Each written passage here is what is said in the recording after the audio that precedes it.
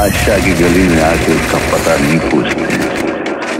के झुके हुए सर खुद बखुद रास्ता बता देते हैं।